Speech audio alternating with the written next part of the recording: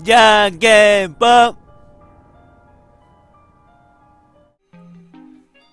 前回のあらすじ金のカツラと赤いジャケットを手に入れた。これを陣に着せて王子様に仕立て上げます。これが今回の話です。いきます。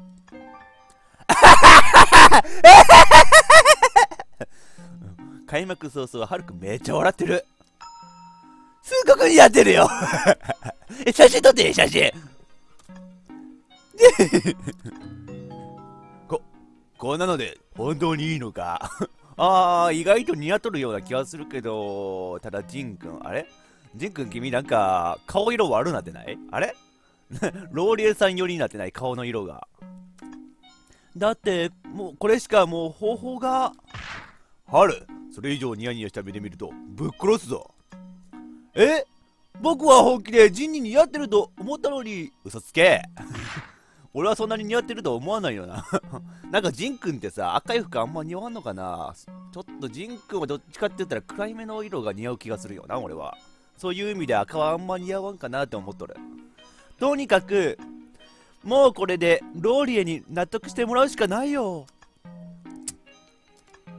ジン何があっても喋らないでね。ローリエが満足して鍵を差し出すまでの辛抱だから。ああ。じゃあ開けるよ。冥界への扉を。あら。もう戻ってきたの？早いのね。ははい。佇んでいるこの女。それじゃあ私の理想の王子様を これドンっていう効果をちょっとやめてあげてジンくんやって頑張ってる。これ冷や汗かいてジンくんだって頑張ってる。その効果音はないと思うよ演出の方。もうちょいさ「ててーん!」みたいな感じでさちょっと盛り上げるような効果音でお願いします。わ。何その顔。ちょっとローリエそのパターン場合ねあのこの後さ、こういう、えって顔の後でさ、うわーっていうさ、すごい乙女な顔をする時があるけどさ、どっちかわからんのよな。犯人の顔。今は犯人の顔やけど。あ、いけたわ。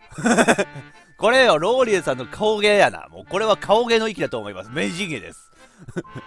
これ一旦犯人の顔した後にピュアな顔になるっていうね、ギャップ萌え。これギャップ萌えって言うんだろうな、多分。世間的に。え？嘘？その人は私の夢にまで見た。お王子様。複雑な気持ちだろうな ジンク。今与えて。ジンク今与えて。すすごい。本当に？夢じゃない。やめてそのさ。裸の男を上でキャーって目を隠しながらもちょっと指を開けてチラッと見る感じのやつやめて。別にジンクは裸じゃないからローリエ、ジンが王子様だと思ってる。こ、こんなにうまくいくなんて。あ、あのー、王子様。はじめまして、私、ローリエと申します。頑張って、ジンくん。い、イケメンですね、王子様。私、ずっとあなたをお待ちしていたんです。あなたに愛さえすれば、もう死んでもいい。本気でそう思ってたんです。キャこんなこと言っちゃうなんて自分でも恥ずかしい。ローリエさん、自分の年考えたことある？王子様、無口なんですね。そう言われますからね。別に声出してもいいような気がせんでもないけどさ、王子様がどんな声かって考えたら、あんまジン君寄りではないんかもしれない。しゃらん方がいいのかもしれない。私、静かな男の人が好きなんで相性ぴったりです。よかった。喋らんでよかった。無口な方がいいんじゃ。ローリエの中の王子様像って無口なんやな。ほ、本当に何も喋らないんですね。あ、あの、王子様。私のお願い、聞いていただけますか？コクン。ジンク突然コクンって言い出したよこれは多分あれやな。うなずいたコクンじゃなくてさ、コクンって口から言ったパターンのコクンだな、これは。あと、ジンくん、なんか表情いいな、君。あれ？そんないい表情できるんじゃ、君。こ今度から写真撮るときはその表情でお願いします。ジンがゆっくりとうなずく、効果音を口にする。やったー王子様、やっぱり優しい。またその表情もだ。今の表情よかったジンくん一つ前の表情よかったやけん。その表情のまま追ってくれればよかったのに。なんでわざわざその表情に戻るん？え、えっと、あ、あの、私と踊ってくださいますか？コくん、それやってさ、一つ、二つ前の表情の方が良かったのに。キャーまだ出た、この裸の男を見るときのローリエさん。や、やった。あ、ありがとうございます。それでは、早速。そう言うと、ローリエはジンに体を寄せて、優雅にダンスを始めた。レッツミュージックうわ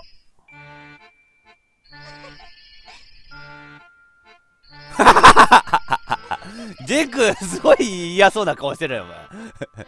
いやいやいや、もうちょい顔には出さんように努力しようぜ、ジン君。あと、ローリエさんもそれに対して、すっごい美しい顔してる。あ、ローリエさん、こんなにおっぱい大きかったんじゃ。ダンス、お上手ですね。あ、上手なんだ、ジェン君。それにしてもこの動きいいな。滑らかに動きよるこの描写。サムネこれ決定ね。さすが王子様。うふふ。顔歪んでる、顔歪んでる。ちょっと力強いよ。ローレーさん、力使いよ。つか、掴む力強いよ。やめてあげて。顔歪んでる、顔歪んでる。やばい。金髪外せんだろうな。大丈夫かなねえ、王子様。キスするの？キスするの？この流れでキスするの？今、愛を誓います。キースキースキースキースああ私の。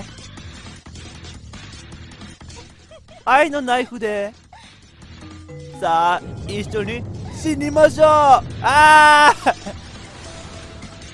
私のナイフがあなたにキスするの。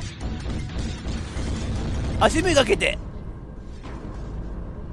うわあロローリエな、何してるの？え、何してるって？私は約束は守る女。あなたは王子様を連れてきてくれたからあなたに鍵を差し出して私は消えるわ。消そうとしてる。あなた自分自分が消えるんじゃなくて人を消そうとしてるよ。そんな約束はしてないだから愛する王子様を一緒に死んでもらおうと思って同意は得てないですよ。そんな同意は得てないですよ。ジンクそれに対してはコクンって言ってないですよ。グッ!ナイフが刺さったジンの足からは血が流れている。愛する人と一緒に死にたいって願うのは女として当然でしょう。うん。でもね愛する男性を自ら自分の手で殺す女性はあなたが初めてです。そそれはあミサちゃん過去にそう 過去に一緒に死にたいと思っとったタイプの人間なん？確かにっていう顔、流れじゃない？それ。そそれは確かにみたいな流れじゃない？それ。あ金髪外れてる。次の瞬間ジンは床に倒れ込んでしまった。あらあら王子様ごめんなさいね。ごめんなさいじゃないって済むか、お前。事件じゃ、お前。事件じゃ、これ。もう刑事罰はまっとるぞ、お前。もう警察呼んでもおかしくないぐらいの事件じゃ、お前。今、楽にしてあげ。うわ王子様が、髪が、あ、ローリーさん？これはあれですよ。あのー、王子様ってね、あのー、危機に瀕すると、金髪が銀髪になるんです。そういうもんなんです。どういうこと？王子様は小麦のように綺麗な金髪のはず。どうしてカツラそ、それは、もしかしてこの王子様、偽物初めて見せるこのすごい顔。髪がすごいゆらゆら揺れている。もう感情に感情に合わせてゆらゆら高ぶっているように揺れている。私を騙したの？そそういうわけじゃ。まずいまずい。何をこのこき汚い男は？まるで王子様の服を着たネズミじゃない。いや金髪じゃなくなっただけなのに。金髪じゃなくなっただけなのに。私は鍵を奪うためにこの乙女心を持って遊んだって言うの？まあ確かにさ騙すはよくないよな、ミサちゃん。うん、今か、今だからさ、手のひらくるくるして言うけどさ、乙女を騙すってはよくないよな。俺は紳士だからそう思います。はい、君たち、騙すのはよくないです。はい。え、えー、っと、お、落ち着いて、ローリエ。殺す。絶対に殺す。お前も、このブサ男も、ついでにあら、チャラい男も、え僕のことも知ってるな殺す、殺す。殺す殺す殺す殺す殺す殺す殺す殺す殺す殺す殺すけ初めての銃殺してやる。殺してやる。ローレは怒りのあまりうずくまりブツブツと何かをつぶやいている。何かって殺すって言ってるよ。殺すって言ったけど言ってたけどもうバリバリ殺すって聞こえたけど。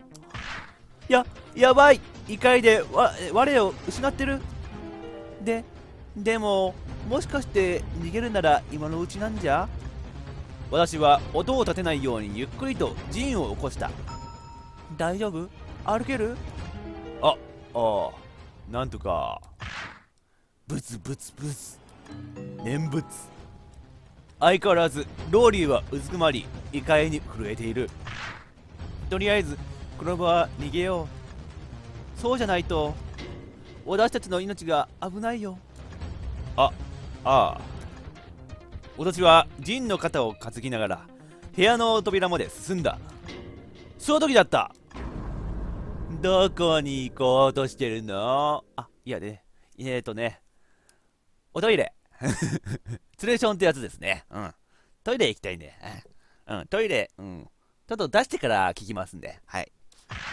あなた、やばい見つかったえ、えー、っと、人違いだったみたいだから、本物の王子様を探しに行こうかなと思って。そうだぞ。もうちょい待ってくれたら本物の王子様も連れてくるからな。待っとって。何言ってるの？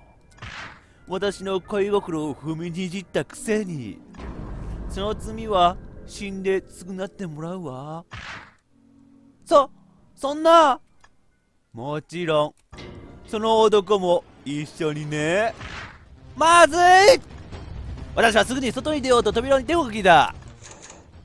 都合よくオートロック。え？鍵がかかってる？どうして？そんなに簡単に逃がすわけないでしょ。そんな！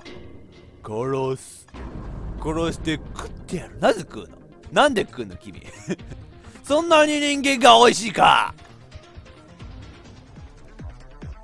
ローリー倒せ倒すの。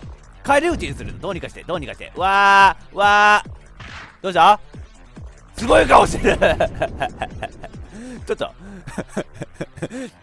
すごい来てま、すごい顔してますよ、ローリエさん。なんか、ピカチュウに呪文ボルトを食らわせた、食らわせられた、サトシみたいな顔してる。痛いローリエは茨を踏んだようだ。え、痛いじゃない、痛いじゃないってあんたのや。その植物あんたのじゃないの。絶対に殺してやる。やーんやーんやーん。やめてよ、ローリエさん。友達じゃん。うわーうわーうわーこれもしかしてあれじゃない？茨踏みつけまくったらどんどんダメージ蓄積して最後にとどめできるんじゃないの？えー、ということでこの辺かな？きたー。はい踏んだ。踏んだ。踏んだ。踏み折った。痛いローレは再び茨を踏んで傷を負ったようだ。おーっと出血が多くなってる。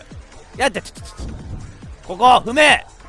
よっしゃー。あー踏めえー、え？腕めっちゃ切れてるやん。いや踏みつけたってことは足にダメージがあったわけでさ。腕関係なくね？なんでそんなに引っかかれたような傷ついてんの？ギャー！ローレは再び茨を踏んで傷を負ったようだ。かなりの量。そうか。うわー！どっからその声が出てきてんだ？あ？どっからかうなり声が聞こえる。うわーん。ああそうか。まだローレさんも本体が別にあるパターンのやつ。どうしたん？どうした？どうしたん？な、なにーえ？ー、ちょっとガブリエルちゃん？ガシ。いやちょっとやめて話して。何が起きてるんですか？わあなんか触手プレイ始まった。触手プレイが始まったなんか知らんけど。エッチエッチ。え？そうか。ローリエのうちにガブリエルが反応したんだ。あそういうことか。ご主人なのに。もう血だったら何でもいいんだガブリエルちゃん。やめてガブリエルちゃん。わ私は餌じゃないのよ。ローリエ今まで君はさ餌じゃないって自己主張したネズミをどんだけ壊してきたんだい？今回は君がそのネズミだよ。しかしガブリエルはローリエを離そうとしない。おっと天国への門が今開く。次の瞬間ガブリエルは巨大な口を開いた。ややめて。ガブリエルちゃん。ぐらいでもこの表情ちょっと可愛い。いもったいない。いやー。ぐらいいやー。私王子様にまだ会ってないのに。ローリエ死ぬ直前に一つだけいいこと教えてあげよう。王子様なんていません。運命の人と出会ってないのに。そうか。私がブスだから。私が気持ち悪い女だから。運命の人とは会えなかったのね。えーとね正論を言わせてもらうとね部屋に引きこもってからひも引きこもってたからですね。神々。部屋で引きこもってたからですね。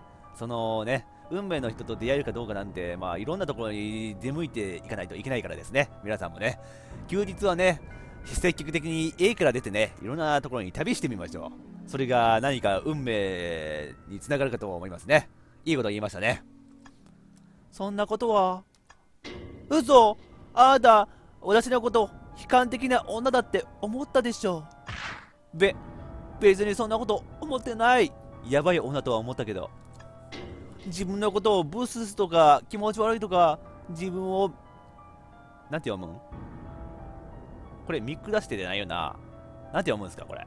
後で調べておこう。結局自己防衛をしているだけのメンヒラって思ってたでしょう。そそんなこと。それはあなたも同じでしょミスター。え？それでこの効果音。この BGM ですよ。あなたこそ、悲観的でメンヒラな女。ずるくて弱いやつ。え、一体あなたは何を言ってるの？何って、あなたの話に決まってるでしょ。ミサ。わー美味しかった？次の瞬間ガブリエルはローリエを飲み込んでしまった。キーン！出てきた。そうだった。鍵の存在を忘れとったわ。そしてガブリエルの口から鍵が落ちた。ガブリエルちゃんありがとう！わざわざ出してくれたんじゃ鍵。ありがとう！無事に鍵は手に入ったけどまだだ。ローリーが消える直前謎のメッセージを伝えてきた。私が悲観的でメンヘラ？どういうこと？そんなことを考えていた時だった。ううまくいったな。これで3つ目の鍵を手に入れた。え？うん大丈夫か？足。ジン大丈夫？足は大丈夫？ああそんなに深い傷じゃなかい。心配するな。よかった。ででも血がだから大丈夫だって言ってんだろ？あれ？ところでジン君いつの間に着替えたん？赤いジャケットは？そ、そう。ならよかったけど。どうした？鍵が手に入ったのに嬉しくないのか？ジン、この館って一体何なの？そうよな。なんか、ミュザの過去の記憶のことを知ってる人物がどんどんできてさ。この館にミサちゃんが来たって偶然じゃないんやな。それに住人たちも記憶が記憶がない私に関係しているの？それは知ってるな？その反応知ってるなジン君。自分で考えろ。お前が自分で気づかないと。ダメなんだ。それって最初から言ってるけどどうして教えてくれないの？私自身の力でやらなければって一体何なの？意味がわからないよ。そそれは。突然ジンは意識を失って倒れてしまった。まあ疲れただろうに。一緒にダンスを踊ったりあがきの旗に足怪我したもんな。ジンどうしたの？倒れたジンはとても苦しそうだ。ジンしっかりして。大丈夫？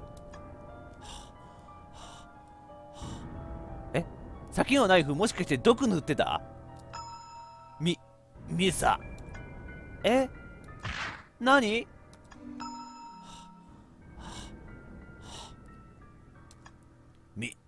ミサ。ミサなら大丈夫だ。え？突然、何を言ってるの？あちょっと待って、ジンくんここで死ぬパターンみたいな流れやめて、ちょっと。君結構人気あると思うんだよね。君結構このゲームの中でも結構人気あると思うんだよね。ここで死んだらその人気者、その、ジンクのファンが泣くよ。うえー、泣くよ、もう。ジン、しっかりして。ミサ、お前なら、きっと、きっといい小説家になれると思うぞ。何の話だい？小説家？え？しょ小説家？突然どうしたの？ジン。どうやらジンは意識が朦朧としているようだ。いい小説家になれると思うぞ。今、ジンはそう言った。この言葉、聞き覚えがある。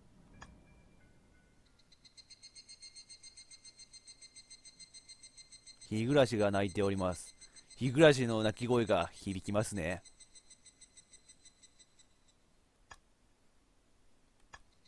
これは夏の日だったみたいな話かな。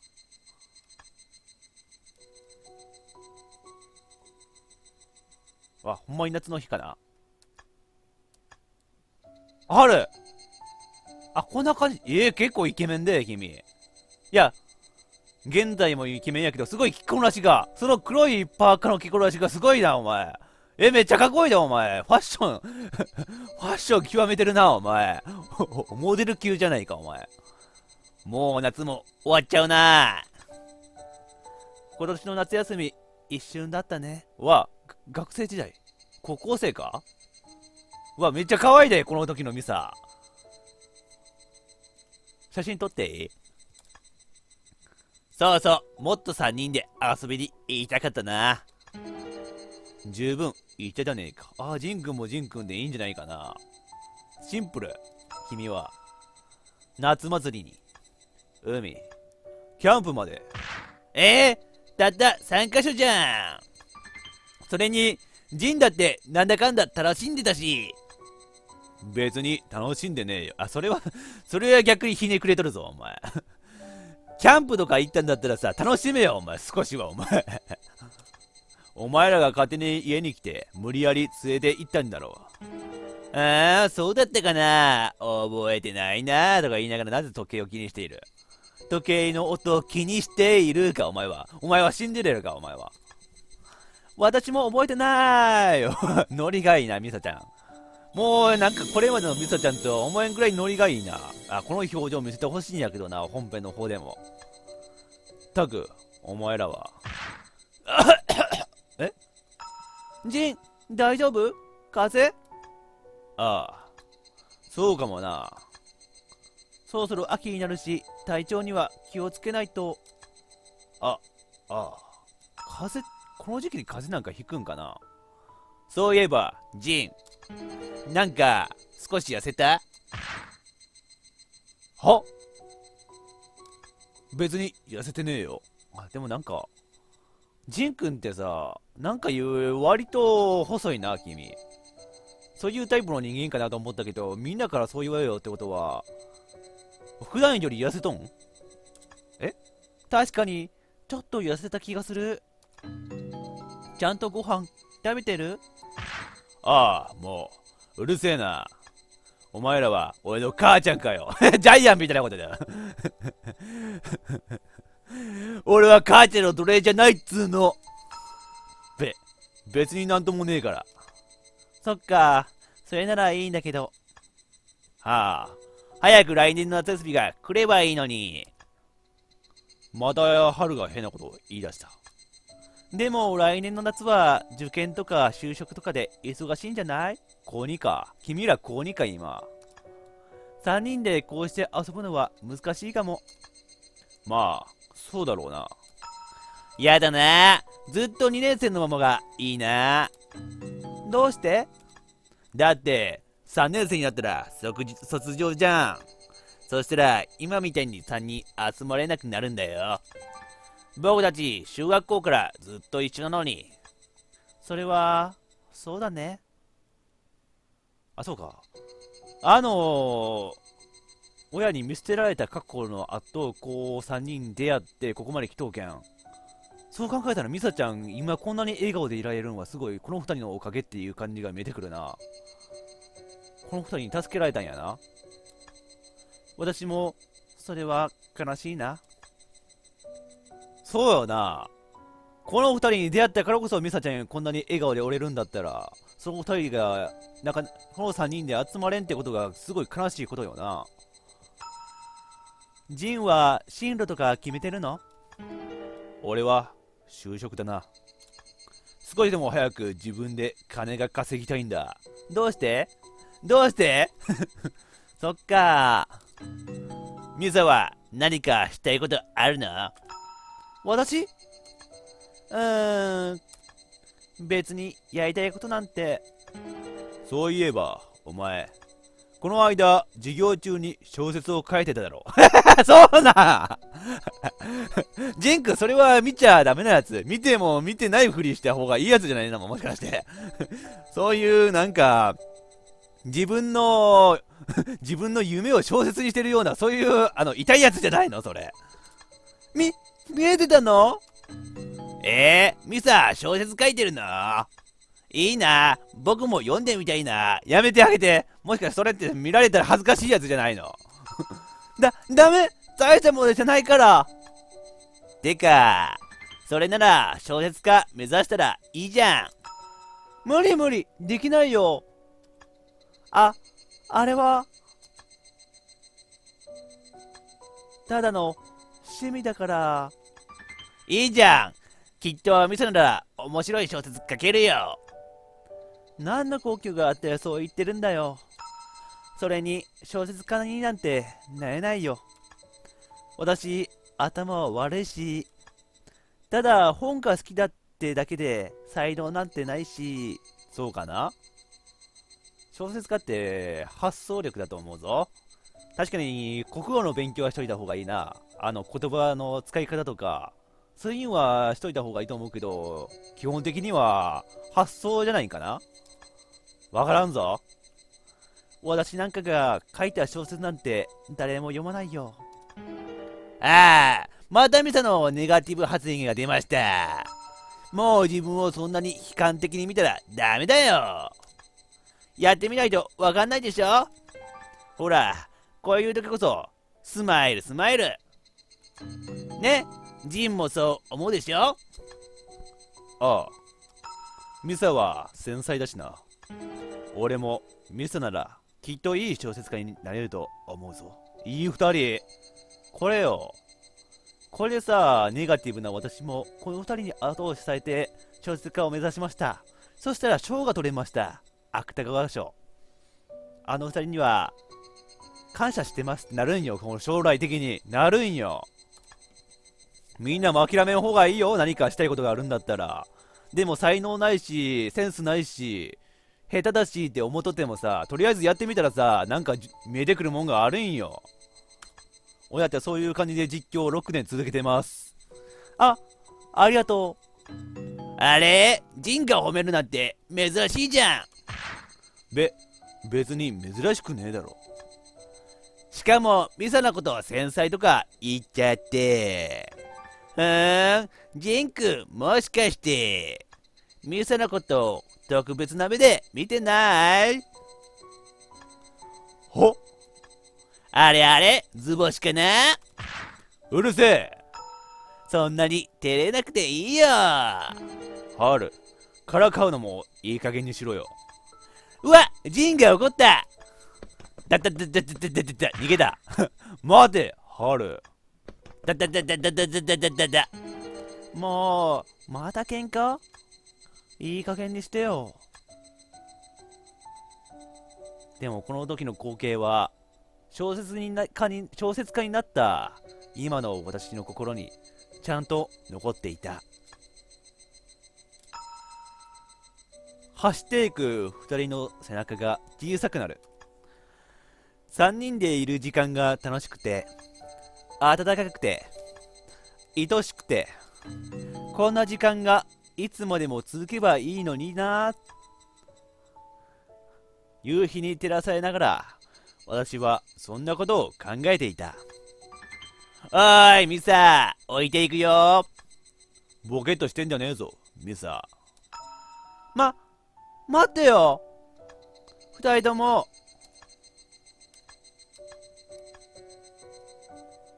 いい3人じゃねえか。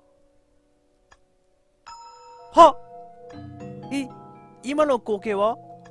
間違いない。私の記憶だ。とても大事な。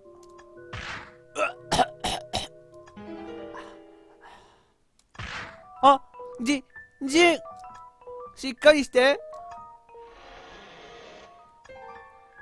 ミサ、ジン大丈夫？お前その顔で言う？もうちょい焦った顔で言わんか？お前。顔間違えてるんじゃないのか？お前。あは、はる。ジンどうしたの？はる、どうしよう？ジンが突然倒れちゃった。ジンが死んじゃう。え？足から血が出てるね。そ、その傷はローリエにナイフで刺されたの。なるほど。ジンはどのナイフで刺されたかわかる？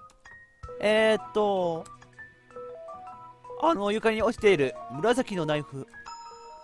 これか。え？毒ついてんの？ああ毒ついてたてか見てわかるんか？ハルくんすごいなお前てかすごい真剣な顔してるなお前お前そんな真剣な顔できるんじゃ。お前は科学者になれるんじゃないかな。もう見ただけで毒ってわかるんだったら、それか分析官っていうんかな。あの現場検証の人、なんて言うんだろう、あれ。え、ちょっと詳しくないけど、あの、なれるんちゃうんか、お前。生産回とかペロって舐めて分かるタイプのやつちゃうんか、お前。毒？うん。マンドラゴラの毒を塗ったナイフだ。ほんと、嫌な趣味だね。ねえ、ジンは大丈夫なの？うーんと、このままじゃまずいかな。ほっといたら死んじゃうかも。そ、そんな。とにかく、まだ時間はあるから落ち着いて。まずはジンを部屋に運ぼう。うん、うん。その後、私とハルはジンを部屋に運んだ。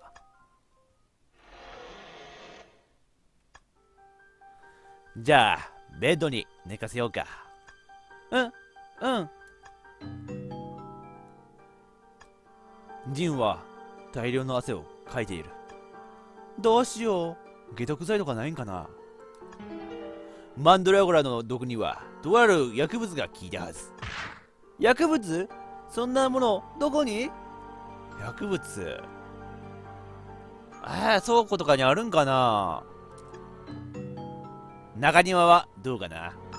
確か昔あそこで薬物が栽培されていたのを見た気がする。昔ってお前いつからおるんやねんお前。このやからでお前。昔からここにいますみたいな感じで言おうけどさお前。まあどれがこの毒に効くかはわからないけど。とりあえず中庭に行こうよ春。今回は非常事態だからね。僕も力を貸すよ。ありがとう。まさかこんなことになるなんて。ジン少しだけ待っててね。必ず助けるから。